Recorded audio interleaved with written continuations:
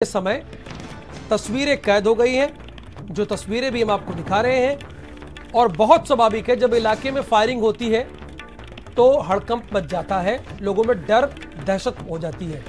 Police की तरफ़ से हो तो ठीक है, वो भी जंगलों में हो, जब मुठभेड़ करते हैं एनकाउंटर करते हैं, लेकिन रिहायशी इलाके में इस तरह की फायरिंग, ये देखिए सीसीटीवी कैमरा भी हम आपको दिखा रहे हैं, और इनका उद्देश्य ही यही था कि इलाके में दहशत फैलाई जाए।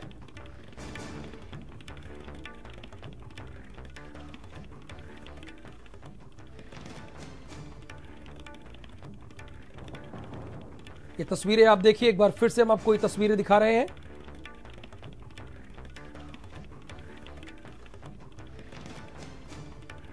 बाइक सवार दो युवकों ने फायरिंग की है। इन दोनों के पास पिस्टल मौजूद है। आगरा की तस्वीरें हैं और आगरा के बाद आपको लिए चलेंगे अमेठी, जहाँ पर एक तेज रफ्तार ट्रक नदी के पुल से गिरा है। स्पीड बहुत तेज थी। पुल की रेलिंग तोड़ते नदी में गिरी, ये गिर गई है ट्रक। आप अंदाज़ा लगाइए कि रेलिंग के बावजूद ये पुल नीचे गई है। ट्रक, ड्राइवर और क्लीनर का सुराग नहीं मिला है। ये कहाँ बह गए?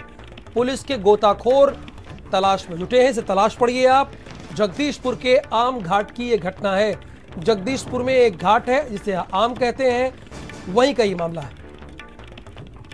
अमेठी से शिव सरोज, सोनी इस वक्त हमारे साथ फ़ोन लाइन पर हैं। शिव सरोज, ये कैसे हुआ? और ड्राइवर क्लियर के बारे में कोई इन्फॉर्मेशन जी बिल्कुल बताएँगे राहुल जिस तरीके देखा जाए ये जगदीशपुर से अयोध्या मार्ग पे एक आम गोमती नदी का आम घाट पुल पड़ता है जो कि उस पुल पर आज बीती रात जो है एक ट्रक पुल, की रेलिंग को तोड़ते हुए नदी में कूद जाती है। गोतोखोर की सूचना पर पुलिस पहुँचती है और उस ट्रक जो नदी में ट्रक कूदी उसको ढूँढने का प्रयास करे क्योंकि पानी इतना ज़्यादा है कि ट्रक जो है उस पानी में डूबा हुआ है। बिल्कुल बहुत शुक्रिया। शिव सरोज सोनी स्पॉट पर मौजूद है। आगे बढ़ेंगे उन्नाव में नौनिहालों के फर्नीचर में भ्रष्टाचार का खेल हो रहा है। नौनिहालों के फर्नीचर में भ्रष्टाचार का खेल जरा समझिएगा। सैकड़ों स्कूलों में निजी फर्म से फर्नीचर बंटवाया जा रहा है। शासनादेश से हटकर उन्नाव में ये खेल किया जा रहा है हर उच्च प्राथमिक स्कूल के लिए बजट गया था। एक लाख छप्पन हज़ार रुपए हर स्कूल को मिला था।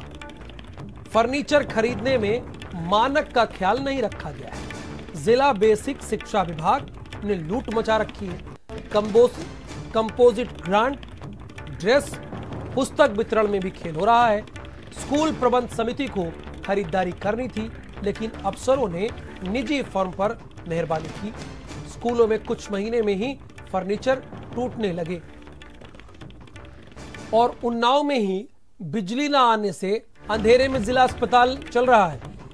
नहीं सवाल यह है ना कि ऊर्जा मंत्री डंका पीटते हैं कि 24 घंटे लाइट 24 घंटे लाइट 18 18 घंटे लाइट। ये जिला अस्पताल में लाइट क्यों नहीं आ रही है? बताना तो पड़ेगा उनको, क्योंकि बिजली के दाम तो बढ़ा दिए गए। लेकिन जिला अस्पताल में बिजली क्यों नहीं आ रही है? इसका जवाब ऊर्जा मंत्री को ही देना पड़ेगा। सीएमएस को भी देना पड़ेगा सीएमओ को भी, और प्लस ऊर्जा मंत्री को भी। अनुराग भारती, ये दर्शकों को बताइए, पूरे उत्तर प्रदेश की जनता को बताइए कि जिला अस्पताल में बिजली क्यों नहीं आ रही है? जी बिल्कुल आपको बता दो उन्नाव का जिला अस्पताल अंधेरे में डूबा है और यहाँ जो डॉक्टर हैं वो मोबाइल की टॉर्च की रोशनी में और मोमबत्ती में इलाज करने को मजबूर हैं जो ज़िले के जिम्मेदार अधिकारी हैं चाहे सीएमओ हो या सीएमएस हो इस मामले में को नजरअंदाज करे हैं। और यहाँ जनरेटर नहीं है क्या अनुराग? सुनिए जनरेटर नहीं है क्या यहाँ पर? जी बिल्कुल राहुल जिला अस्पताल में जनरेटर लगा हुआ है और लेकिन जो जनरेटर चलाने का जिस फर्म को काम दिया गया है जनरेटर नहीं चलाती है प्रतिदिन दो से तीन घंटे जिला अस्पताल में अंधेरा रहता है। डॉक्टरों ने कई बार इस पूरे मामले की शिकायत खबर ये भी है कि जनरेटर से डीजल भी चोरी होता है। जी बिल्कुल। ये दो से तीन घंटे जो लाइट बंद करते हैं उस दौरान का जो डीजल होता है उसको निकाल कर बेच दिया जाता है और अस्पताल अंधेरे में रहता है। डॉक्टरों ने कई बार इस पूरे मामले की शिकायत भी की है लेकिन जिम्मेदार कोई कार्रवाई नहीं कर रहे हैं ना ही इस पूरे मामले की जाँच करा रहे हैं। बहुत शुक्रिया अनुराज इस जानकारी के लिए आपका। तो अंधेरे में किस तरह से जिला अस्पताल में इलाज हो रहा है, वो हमने आपको तस्वीरें दिखलाई। अब आगे बढ़ेंगे। बरेली में टेरर फंडिंग के मामले लगातार सामने आ रहे हैं। पुलिस और जाँच एजेंसियाँ मामले की जाँच में जुटी हैं। क्या है पूरा मामला? आप हमारी इस एक्सक्लूसिव रिपोर्ट पे देखिए। यूपी में टेरर फंडिंग का जाल सब्सिडी के खातों में terror funding. PM Awas Yojana के खातों से खेल। हिंदुवादी नेता कमलेश तिवारी की हत्या के तार बरेली से जुड़े पाए गए। तो वहीं हवाला के ज़रिए टेरर फंडिंग का बड़ा मामला सामने आया है। इस बार प्रधानमंत्री आवास के लिए खोले गए खातों को टेरर फंडिंग के लिए इस्तेमाल किया गया है। प्रधानमंत्री आवास योजना की सब्सिडी के ढाई लाख रुपए अकाउंट में आने के लिए खाते उत्कर्ष स्मॉल फाइनेंस बैंक और एसबीआई में खुलवाए गए।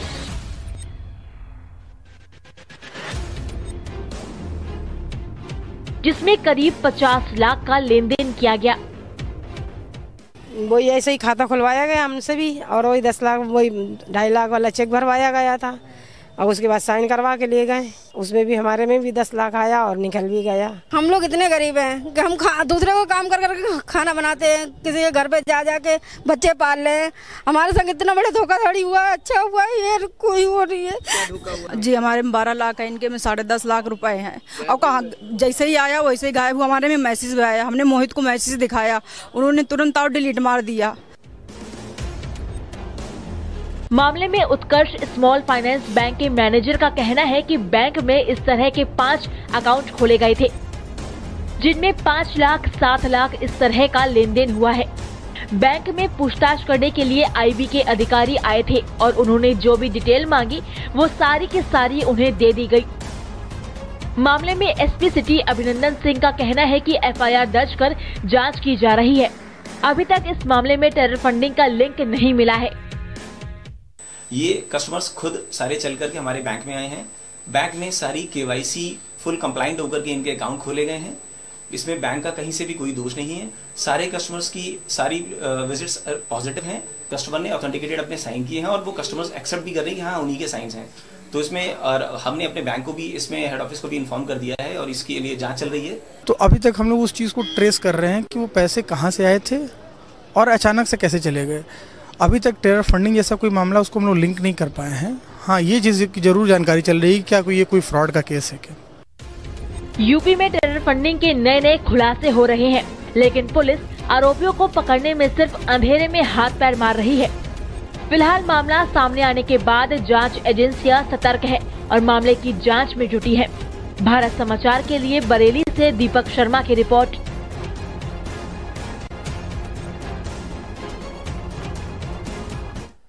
इधर कानपुर में छत्रपति शाहू जी महाराज विश्वविद्यालय जूनियर और सीनियर छात्रों के बीच मारपीट हो गई। छात्रों की पिटाई से आहत छात्रों ने यूनिवर्सिटी गेट पर हंगामा किया। पिटाई से छात्र की हालत गंभीर बनी हुई है। यानी सीनियर और जूनियर छात्रों में लड़ाई हो गई, मारपीट हो गई और इसी मारपीट में कुछ छात्रों की स्थिति गंभीर बनी है और पुलिस इसीलिए मौजूद है और कुछ लोगों को नेतागिरी करने का मौका मिल गया है, जैसा कि आप तस्वीरों में देख रहे हैं।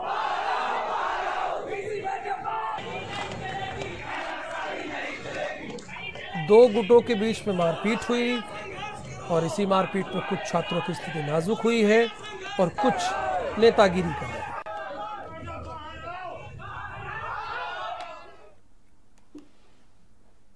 और बलिया में पुलिस की कैसे किरकिरी हुई है, वो भी आपको दिखा देते हैं। दंगा नियंत्रण रिहर्सल में पुलिस की किरकिरी हो गई मीडिया के सामने। एसपी डीएम के नेतृत्व में इसका आयोजन किया गया था। मिस हो गया क्या सर अब सुनिए ना क्या कह रहे हैं। पुराना है। क्या है एक्सपायर है?